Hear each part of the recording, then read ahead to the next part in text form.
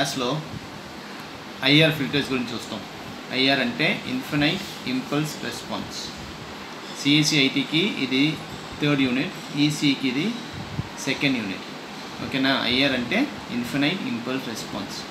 దీనిలో impart question ఏమంటే design of digital IR filter. Okay? దానికి ఫస్ట్ ఏం చేయాలంటే first we have to design analogue IR filter. Analogue IR filter దానికి transfer function ఏమో HA of yes ఇప్పుడు ఏం చేయాలంటే ఫస్ట్ అనలాగ్ డిజైన్ చేసి దాన్ని మనం డిజిటల్గా కన్వర్ట్ చేయాలి.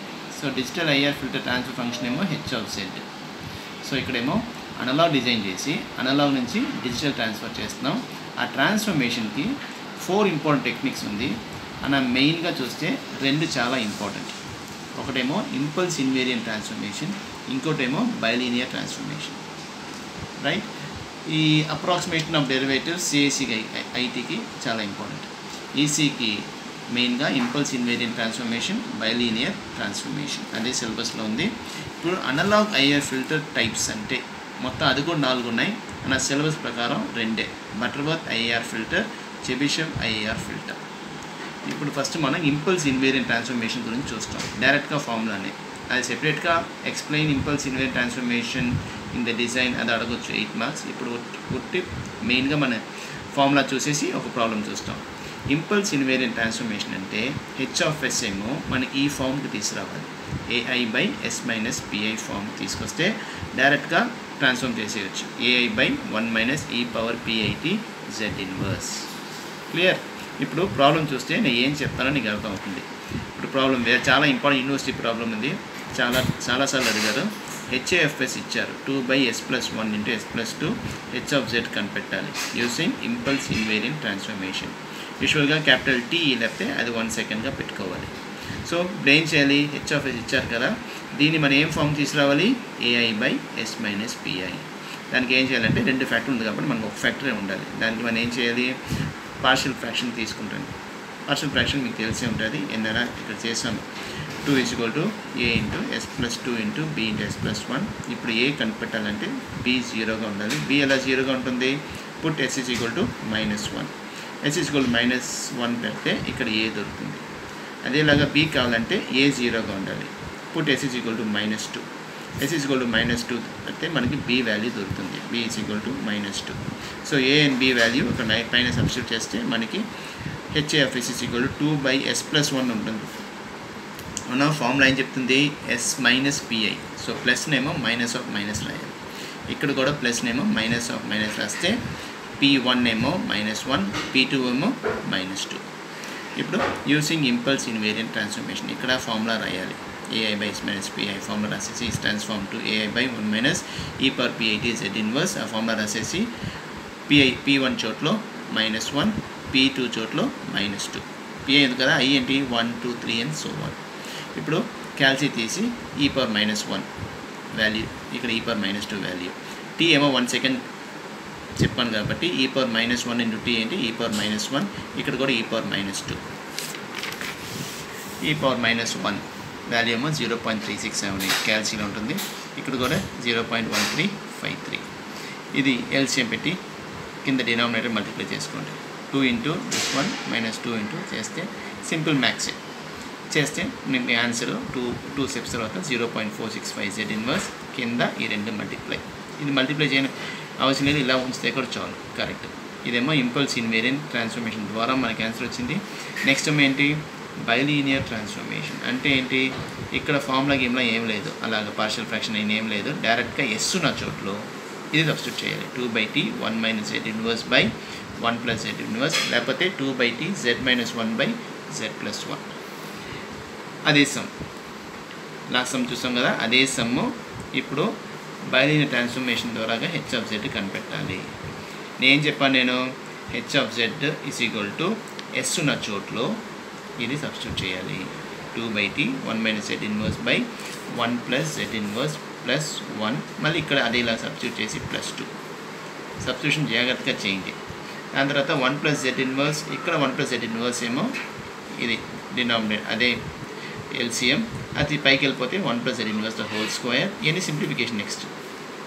Just two or three steps calculate చేసి two into one minus Z inverse plus one plus Z inverse ఇక్కడ కూడా two into one minus Z inverse plus two into one plus Z inverse జాగ్రత్తగా సింప్లిఫికేట్ చేసింది. ఇది కూడా మీరు notes నోట్స్గా use చేసుకోవచ్చు. మళ్ళీ ఇంకోసారి ఈ ప్రాబ్లమే ట్రై చేయొచ్చు. చాలా ఇంపార్టెంట్ ప్రాబ్లం ఫైనల్గా zero point five into one plus Z Z inverse whole square by three minus Z inverse ఇప్పుడు చూస్తే ఇదేమో లాస్ట్ ఆన్సర్ కొంతమంది వన్ బై టూ రాస్తారు.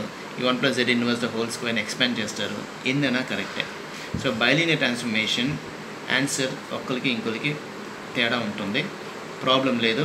ఏమంటే మెయిన్గా ఫార్ములా కరెక్ట్ చోట్ల సబ్స్టిట్యూట్ చేశారా? దాని తర్వాత త్రీ టు ఫోర్ స్టెప్స్ చేసి ఆన్సర్ ఫైనల్ ఆన్సర్ చేసుకుంటాను అంతే. ఓకే ఇది bilinear transformation right next topic మనం చూడపోయిందేమో అనలాగ్ బటర్వర్త్ ఫిల్టర్ డిజైన్ ఈ బటర్వర్త్ ఫిల్టర్ ఏమో ఫోర్ టైప్స్ ఉంది. బట్ ఇక్కడ డిజైన్ స్టెప్స్ ఏమో లో పాస్ ఫిల్టర్ ఒక్కటే.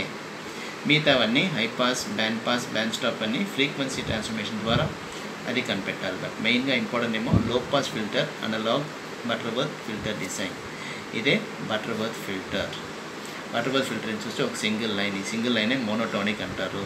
Monotonic in pass band and stop band contains question పేపర్లో బటర్వర్త్ని ఎవరు design a filter which is monotonic in pass band and stop band with the specifications given below అలా ఇస్తే అదేమో Butterworth filter meaning so ఇది Butterworth filter magnitude response మనకు తెలియాలి magnitude response ఏంటి it is between magnitude and magnitude function and frequency అనలా కాబట్టి ఇలా రాయాలి ohm symbol okay so X axis ఏమో ఫ్రీక్వెన్సీ వై యాక్సెస్ ఏమో magnitude ohm symbol radians per second ఇది modulus of H of J omega ఇది one దాని కింద ఏమో one by root of one plus epsilon square దాని కింద one by root of one plus lambda square ఇదేమో omega P omega S ఇదేమో alpha P attenuation in pass band unit ఏమో decibels alpha S attenuation stop band unit ఏమో decibels P అంటే pass band analog pass band frequency analog stop band frequency ఈ diagram గుర్తుంచుకోవాలి Butterworth filter డిజైన్కి so first step filter design ఏమో find the order of the Butterworth filter order formula N capital N greater than equal to log root of 10 power 0.1 alpha s minus 1 by 10 power 0.1 alpha p minus 1 by log of omega s by omega p. పైన S కింద P ఇంటేమో చూపుంటా పోలీస్ జ్ఞాపించుకుంది పైన S కింద P మార్చంటే సముకులుగా తప్పు. ఇదేమో సేమ్ ఫార్ములా ఇంకో ఇంకోలాగా రాయొచ్చు. లాగ్ ల్యాండా బై ఎఫ్సిలాన్ ఎందుకంటే ఒకసారి ప్రాబ్లంలో ఆల్ఫా ఇవ్వరు. అప్పుడు ల్యాండా బై ఎఫ్సిలాన్ కనిపెట్టాలి. డయాగ్రామ్ పెట్టి. By log of omega S by omega P where lambda is equal to numerator of the numerator and epsilon is the denominator of the numerator power half అంటే ఏంటి? Route అది మీకు తెలుసు. ఎన్ కనిపెట్టిన తర్వాత వచ్చే ఆన్సర్ని మనం రౌండ్ ఆఫ్ చేయాలి. ఒకవేళ టూ పాయింట్ త్రీ వస్తే ఆన్సర్ ఏమో three N three point zero one three point zero two ఉన్నా కూడా దాన్ని ఆన్సర్ నెక్స్ట్ తీయాలి. ఫోర్ ఫోర్ని తీసుకోవాలి. ఓకేనా? ఇది first step second step first step N వచ్చింది కదా? దాని ప్రకారం మనం డినామినేటర్ పాలినామియల్ హెచ్ఏఎఫ్ఎస్ రాయాలి. సపోజ్ ఎన్ ఏమో ఫస్ట్ ఫస్ట్ స్టెప్లో టూ వచ్చిందంటే సెకండ్ స్టెప్లో since N equal to two H of S S is equal to one by S square plus S root two plus one అలా రాయాలి. సో ఈ one two three four ఆర్డర్కి ఇదే Butterworth denominated polynomial. ఇది memorize చేసుకోవాలి. చేసుకోలేకుండా కూడా లేకపోతే మీరే డిరైవ్ చేయాలి. S is equal to poles e power J phi K where phi K is equal to pi by two plus two K minus one into pi by two N where N is order of the filter and K is equal to one two till the N దాని ప్రకారం మోస్ట్గా ఎన్ ఏమో four లోపలే ఉంటుంది. మీరు memorise చేసుకుంటే మంచిది. Okay? ఇప్పుడు third step third step ఏమో అన్లాక్ కట్ ఆఫ్ ఫ్రీక్వెన్సీ కనిపెట్టాలి omega C school omega P by ten power point one alpha P minus one power one by two N దీన్నేమో alpha ఇస్తే ఈ ఆల్ఫా ఇస్తే ఈ ఫామ్లో యూజ్ చేయాలి. లేకపోతే ఈ ఫామ్లో epsilon power one by N ఇది వన్ బై టూ ఎలా వేయచ్చు? One by two one by N so ఇది పవర్ వన్ బై టూ అంటే అది ఏం ఫార్ములా ఎఫ్సిలానే కదా? అందుకే అలా చెప్పాను. ఆల్ఫా ఇస్తే ఈ ఫార్ములా ఎఫ్సిలాన్ ఇస్తే ఈ formula last step replace S is equal to S by omega C in H of step టూలో మనం హెచ్ కనిపెట్టాం కదా? ఎక్కడ ఎస్ ఉందో దానికేమో S by omega C substitute చేయాలి అది ఓకేనా? జాగ్రత్త.